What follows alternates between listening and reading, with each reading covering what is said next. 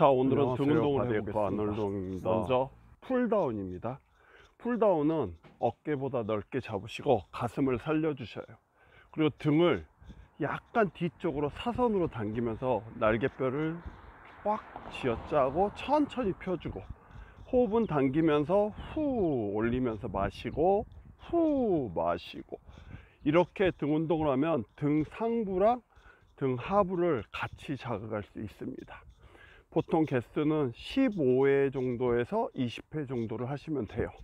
자 두 번째 운동은 one arm cable row인데요.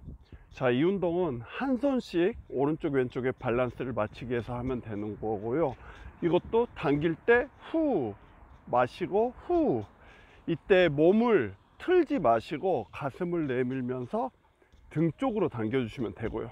반대손도 마찬가지 자 보통 one arm을 하는 경우는 등의 밸런스를 잡기 위해서 하는 경우가 되게 많아요. 자 이렇게 날개뼈가 완전히 뒤로 빠지는 느낌으로 몸을 트위스트 하지 마시고 가슴을 내밀면서 놀 때 천천히 등 하부까지 쭉 늘어나는 걸 느끼면서 하면 되고 호흡은 당기면서 후 마시고 후 마시고 이런 식으로 하시면 돼요.